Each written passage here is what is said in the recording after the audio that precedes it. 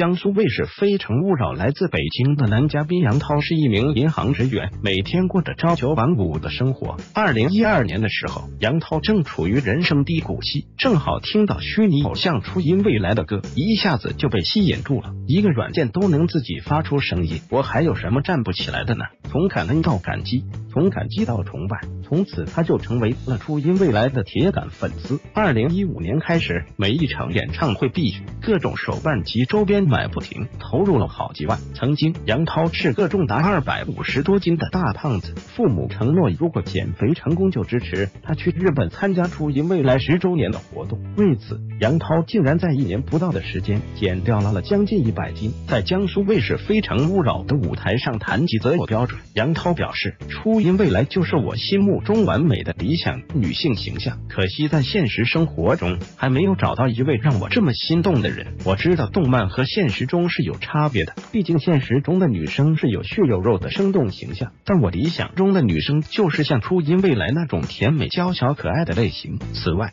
我希望未来的那个他最好也能喜欢初音未来，喜欢动漫。如果你实在不喜欢也没关系，只要不反对我喜欢这些就行。